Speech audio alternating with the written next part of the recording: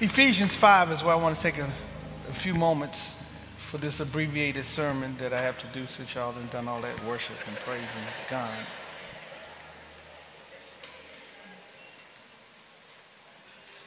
Verse 15 says, See then that you walk circumspectly, not as fools, but as wise, redeeming the time because the days are evil. Therefore, do not be unwise, but understand what the will of the Lord is. Somebody say, I want to know what the will of God is for my life. Right now, he about to tell you what the will of God is. He says, I want to know what it is. And here's what it is. Number one, this applies to most of y'all here today. Do not be drunk with wine. Look at your neighbor and say, look at your neighbor and say, stop drinking. Go ahead, tell him. Tell him to stop drinking.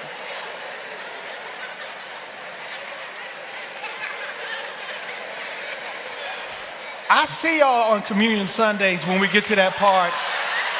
Not y'all, y'all, you know, put your head down or cover your mouth. You don't say it.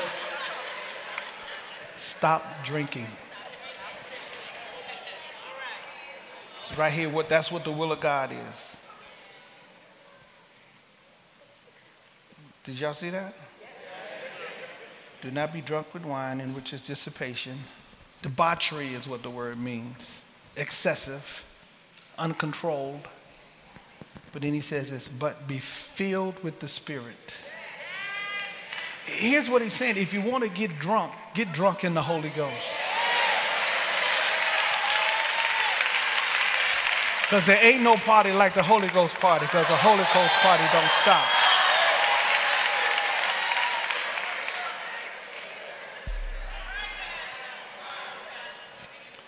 Now, what I want to talk to you about today is about this verse 18 to be filled with the Holy Spirit. And when I, I want to talk about why we need to be filled with the Holy Spirit. Why do we need to be filled with the Holy Spirit? Why, why is He telling us to be filled? And why is it so important? When I was growing up in church, if somebody started shouting, we used to say they got happy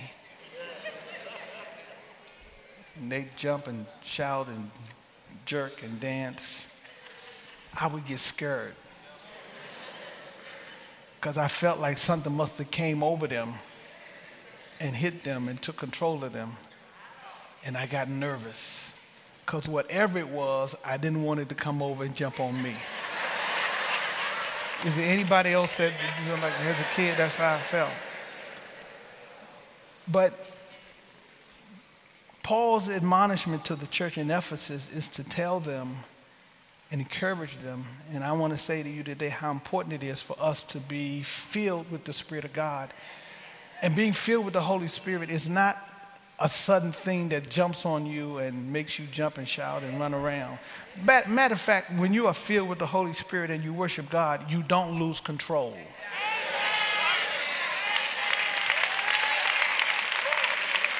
You don't lose control of yourself. You don't, you don't, you don't, you don't beat up everybody on your row.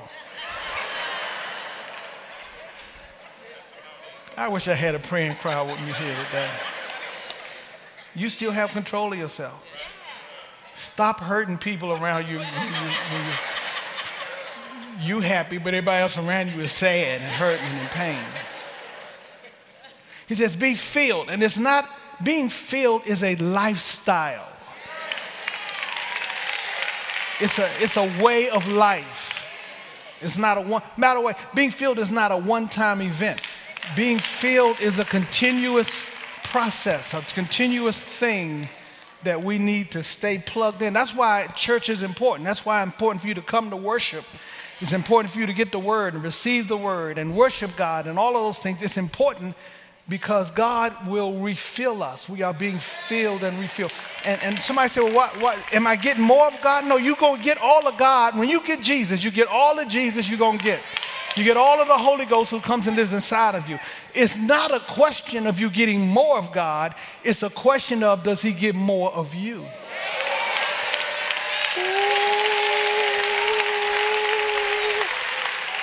And if the truth be told, what happens, what, what had happened was, he was in control. You got to a place in your life where you surrendered to God and let Him have control, but your flesh keeps rising up pulling, taking control from the Holy Spirit. You keep taking the reins out of his hand. You keep taking the steering wheel out of his hand. You keep pushing him out of the driver's seat, and you get in that seat. And that's why you need the Holy Ghost to come back in your life, kick your. Um, let's see, how do I want to say this? Push you off and out of the driver's seat and let him have control. Are y'all listening to what I'm saying to you today? And what I want to tell you today, uh, what I'm going to talk to you is why it's important for you, why we need to be filled, because we do need to be filled. Tell your neighbor, you need to be filled. That's why you need to stop drinking. Go ahead, tell them one more time. He says, be filled. Being filled helps you to deal with the issues that you have in life. When you, when you are filled with the power and presence of God, He orders your steps. When you get filled with the Holy Spirit, He directs your path. He controls your life. You need a regular empowerment of the Holy Spirit. It is a lifestyle. Somebody say, lifestyle. It's not a one time deal. Tell your neighbor, it's not a one time deal, it's a lifestyle. Now, why do we need to be filled? Because then he begins to tell us why we need to be filled and what the evidence actually is the evidence of, of being filled. Again, another thing that happened when I was growing up, you know, there were churches that taught that when you get filled with the Holy Ghost, you're going to speak in tongues. And if you ain't spoken tongues, you ain't got the Holy Ghost. And Yada. And some people believe that, and that's, that's their prerogative for what they believe. I know why they believe that. But the bottom line is, I believe that there are some things that will be evidenced in your life when you are filled with the Spirit of God. And amen. And when you get filled, you know, what, why I think it's so important, why I think it's significant, is because when the Holy Spirit fills you, it, it, doesn't leave room for other stuff.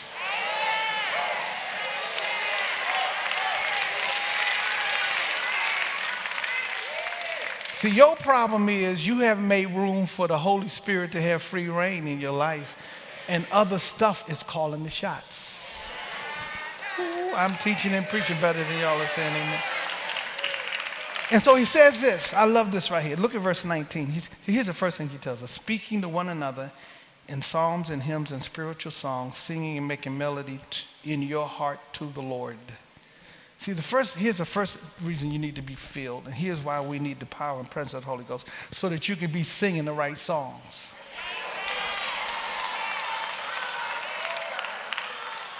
So you can sing the right songs. So we just finished singing that song. Some of y'all couldn't open your mouth. Not, not because you didn't know the song, but your life is not right to sing that song. Uh, uh, come here for a minute. So, so, so here's how the Holy Ghost works raise your hands and worship God like you worship Him. Thank you, Lord. The Holy Ghost said, put your hands down, you ain't living right. He pokes you in the, the conscience right here. Thank you, Lord. Sit, no, no, you know you're not doing right. You know you're going to places you, you, shouldn't be going, being places. So, so you, you, you feel guilty. You feel, not guilty, you feel conviction. Let me use that word. Yes, sir. Conviction. Yes, sir. But if you can, when you are doing the right things and living the right way and walking the right path, you can raise your hand without, without conviction, without being challenged. All right, good. Can you worship God? Yes, I can. Okay. you can sing the right song. Amen. You, you can worship God. You see, and what I like about this, and when you read this in the King James Version, verse 19 says, uh, speaking uh, to yourself so you can sing the right song and say the right things to yourself. You can, you can speak the right words to yourself. And I, and I, I try to re- remind people see, the problem is talking to yourself is not bad, it just depends on what you're saying to yourself. The Holy Spirit will help you say the right things to yourself. And y'all have heard me say before, and I want to say it again today. There are times in my life where I didn't say the right things, and I defeated myself, and I was frustrated and upset and depressed and all of that stuff. But I give God the praise today. He has taught me a new song to sing. Yes, I had to put down some of the songs I was singing. I was singing some of the wrong songs. Y'all know I am a temptation addict. Yeah, I'm a Temptations addict, and, and, and I used to sing the Temptation songs. So that's I, I, I don't know what y'all are singing. I don't know what today's music is. I can't tell you about all of the. I don't even know who the artists are today.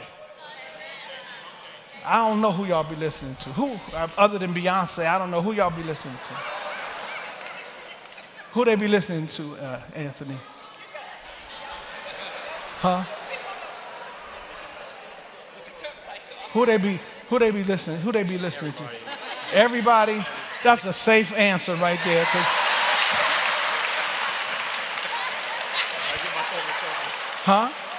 Yeah, exactly. Would you, Amigos. they act like they don't know what I'm talking about. You know they know who they are. Who can tell me the truth? Aaron? Who they be listening to, Aaron? Now, Aaron used, Aaron, come here. Aaron used to play for Usher. Did y'all know that? He used to play for Usher. And we brought him here. Who they be listening to, Aaron? Oh man, they they, they like uh, Bad Bunny. Bad Bunny, Man, they, they like Migos. Migos, they like Latto. Latto. Oh yeah, Yeah, yeah. They, they like a lot of people. a lot of people. Y'all know who those they- people that's are? what they like out there. They Okay. on. Who else you say?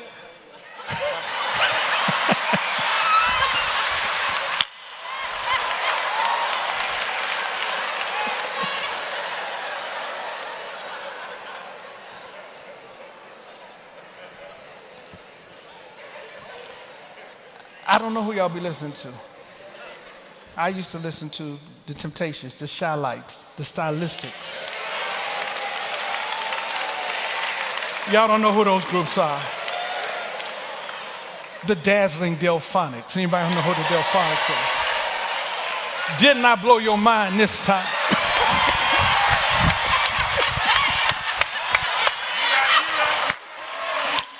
Y'all know nothing about that. That's when they sang music back then. That's, that's when the music had melody and a song and a message. I got sunshine on a cloudy day.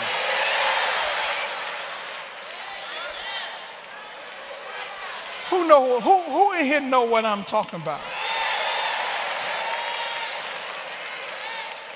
Now all of their music wasn't good.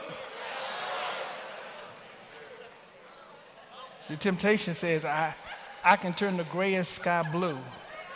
I can make it rain whenever I want it to.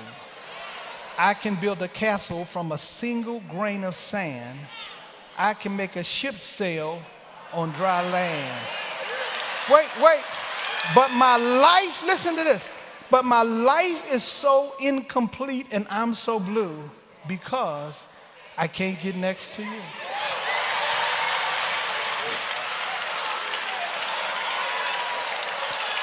He's saying, I can do a lot of stuff, but I can't get in you. I'm trying to get, get with you. I had to drop that one.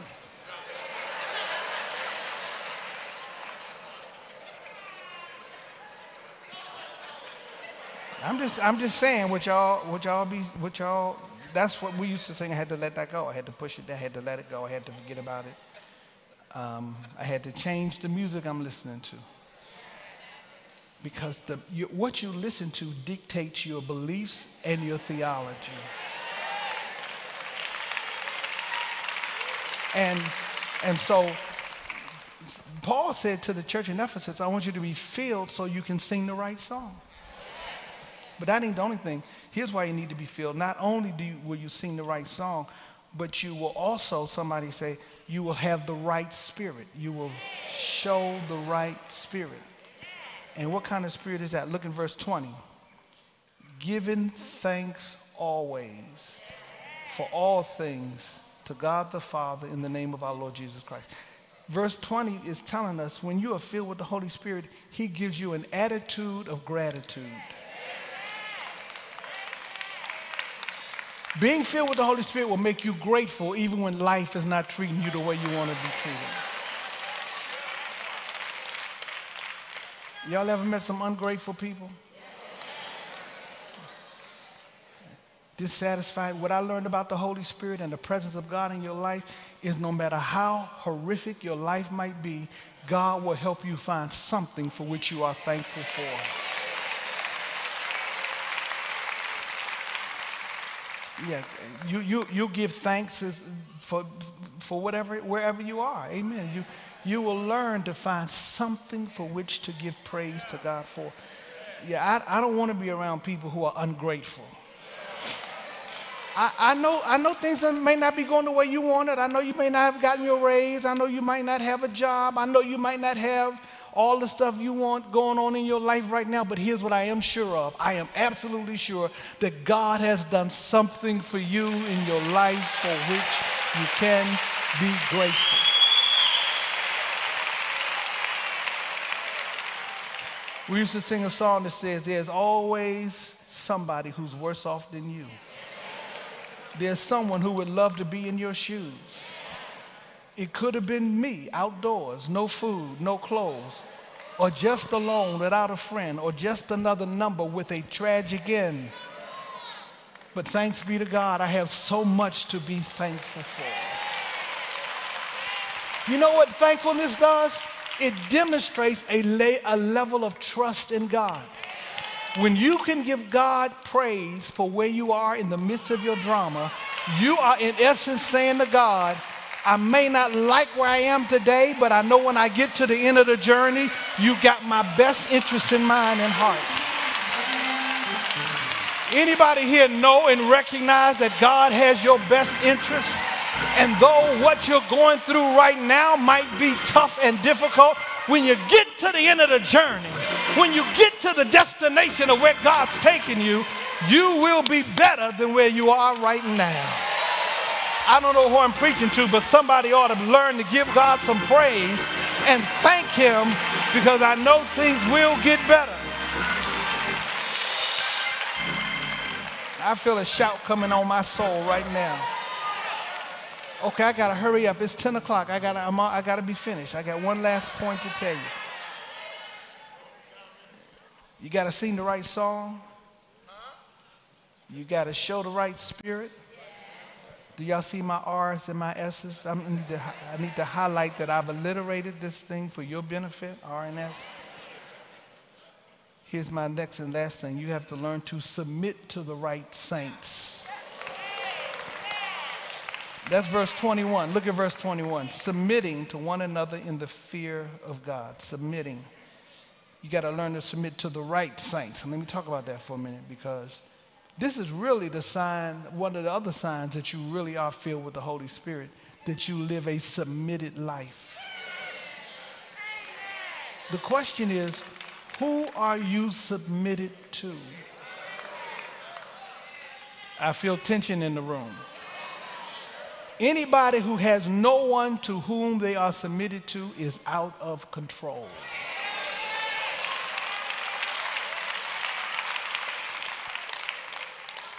Amen. Uh, submitting to one another in the fear of God, recognizing that God sees me and knows what I'm doing and where I'm at, and He's watching over me. So He says, submitting to one another in the fear of God. Now, let me talk about, see, this, this is so important that He now spends the, the next several verses talking about who we should be submitted to. He doesn't tell everybody, but He tells some, some important things. Can I tell you who some of them are? First of all, I love verse 22, right after verse 21. That verse 22 is anointed.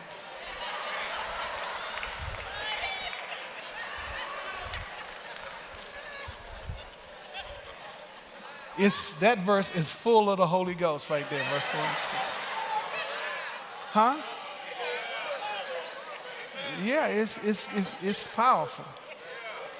Yeah, yeah. Submit, wives, submit to your own husbands has to the Lord. Come on now, somebody holler at me for just a second. That's anointed. Come on, brothers, don't leave me hang out, out here by myself. Come on, get with a brother right now. I'm trying to help you out with your trifling self. She can't submit to you because you're trifling, lazy, irresponsible. But the Holy Ghost will help her submit to you even though you're a jacked up joker.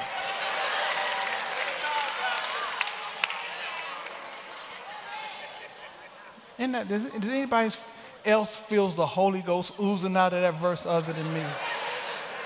Yeah, it's, it's, it's true. Submitting uh, to your own husband. For the husband, verse 23, is head of the wife, as also Christ is head of the church, and he is the Savior of the body. Therefore, just as the church is subject to Christ, so let the wives be to their own husbands in everything.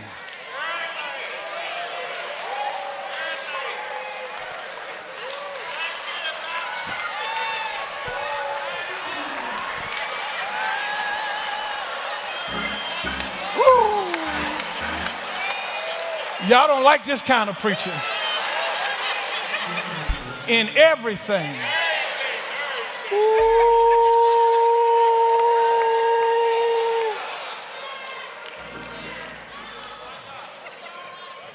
Now, now, let me say this. I feel tension in the room. I feel, I see some women looking at me out of the corner of their eyes.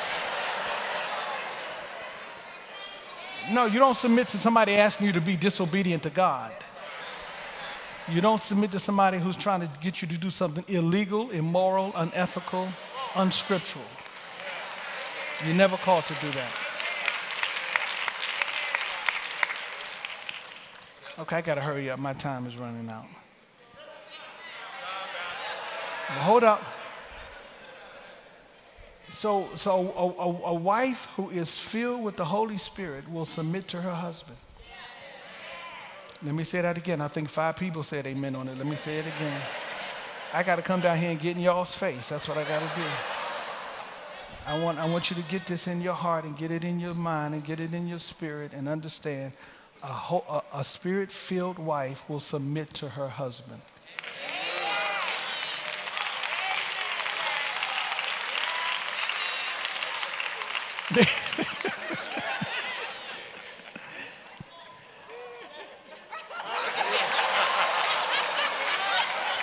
John Jenkins didn't say this.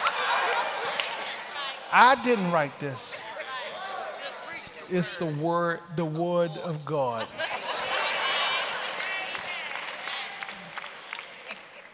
Watch the women on this fight right here. Husbands, love your wives just as Christ loved the church. Now they, they weren't saying nothing on the previous verses. Not look, look at them standing up, waving their hand, clapping.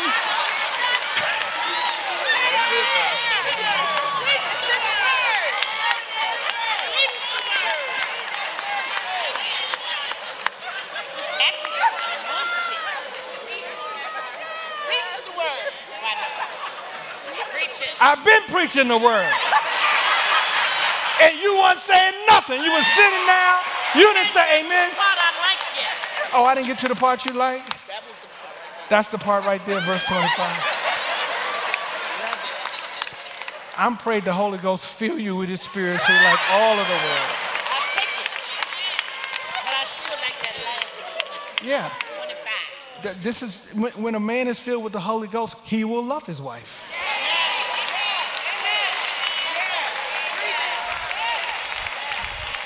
I'm almost, I got to hurry up and finish here, but the bottom line is um, I need help. I need the Holy Ghost to love my wife.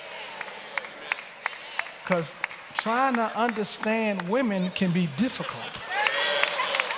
Come on, brother. Is that your husband right there? That's, this your husband? What? When did you get married? July? What? I ain't met this joker. I didn't give my approval of this joke. Is he loving you? He does. He does. Oh.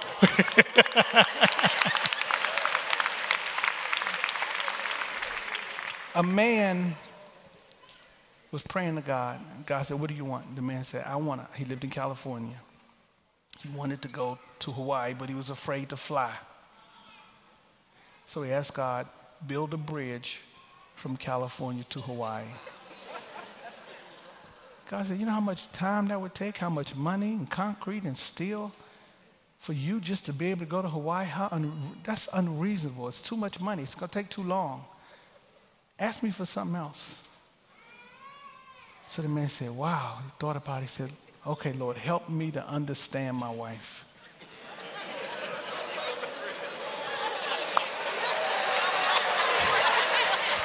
After, after a few minutes, God said, Now, how many lanes do you want that bridge?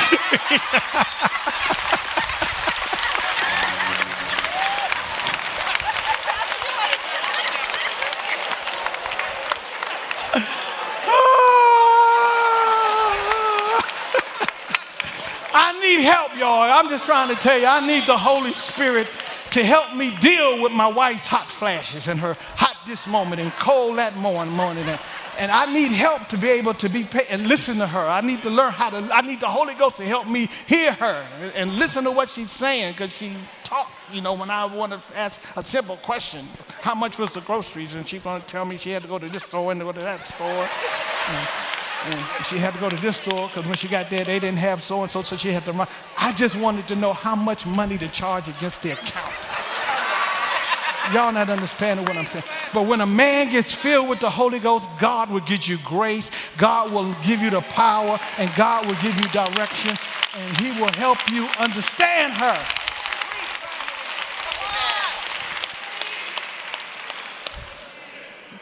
I'm almost finished. Verse 28 says, so, so husbands ought to love their own wives as their own bodies. He who loves his wife loves himself. So, so we submit, we're submitting to wives to husbands, husbands to love their wives. Y'all see that right there? Uh, go down to chapter 6. And here's, here's the third submission. It deals with children and parents. Here's submission. Children, obey your parents in the Lord, for this is right. Children need to the Holy Ghost so they can listen to their parents. How many? I, I learned with my six kids that they didn't have to be taught to be, to be disobedient. Their flesh rose up in their flesh, but they, they do need the Holy Ghost to listen to their parents, to be obedient. And it says in verse 2 honor your father and your mother, which is the first commandment with promise. So, so this, when you fill with the Holy Spirit, children, that means here's what a child is somebody else is taking care of you. Somebody else is paying your rent or your mortgage or putting a roof over your head or putting clothes on your back. That's a child. Look on your road, there's some 40 year old children on your road somewhere. Y'all, can't y'all cannot handle the truth. If you 40 living at home and ain't paying no rent, I told my kids, my two youngest kids live with me, I told them, y'all got to start paying rent up in here. And they're trying to give me all of the reasons why they shouldn't have to pay rent. And I said to them, um, you going to pay some rent.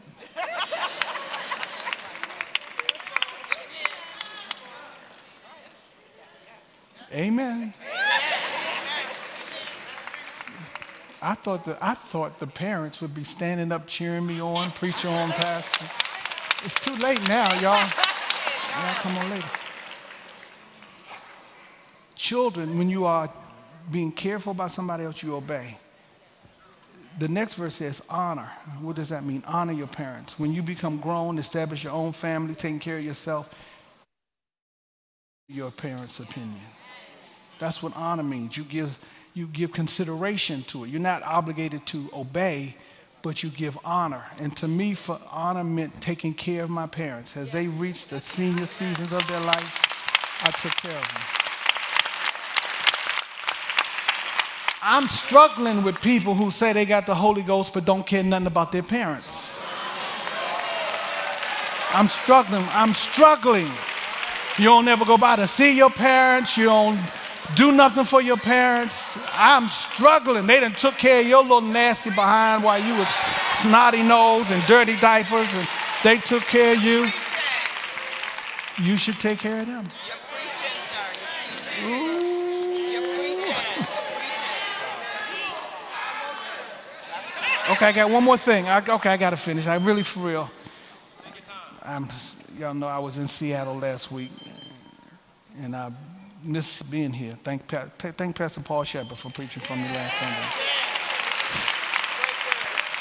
Here's verse 5. Here's my last point. Bond servants, be obedient to those who are your masters according to the flesh, with fear and trembling and sincerity of heart as to Christ. This deals with your boss.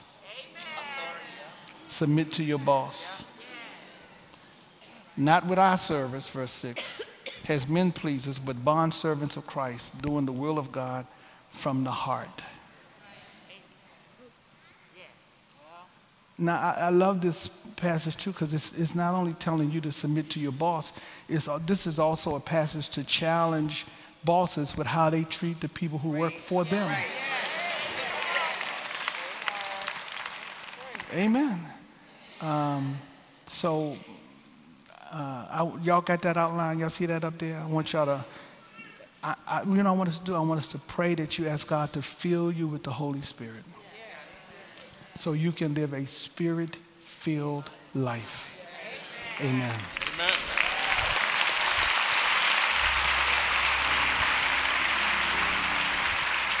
If you're not saved and you want to get saved, come here right now. Just, just be humble yourself. Jesus died on the cross. You say, you might be saying, I, I done violated everything that this here that he's mentioned, or one of these things. But I want the Spirit of God. I want Jesus in my life.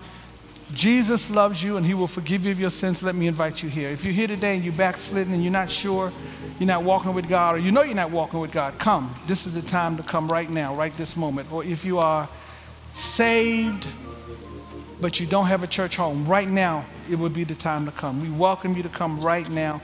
Or if you're unsure about your eternal destiny, come right now. I see you. Come on. Amen.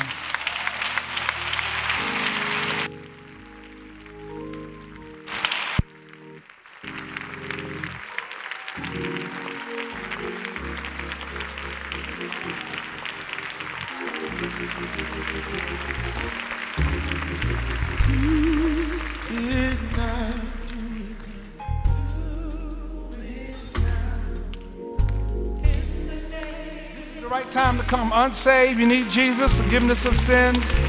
You're backslidden, you need to rededicate. You're not sure of your eternal status. You're already saved and you need a church. Right this moment is the time to come.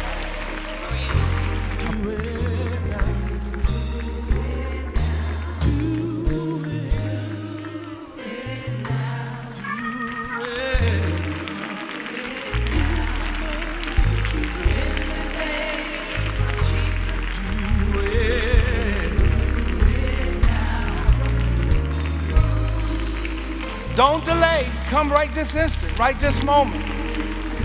Say yes to God, the God of the universe. Come.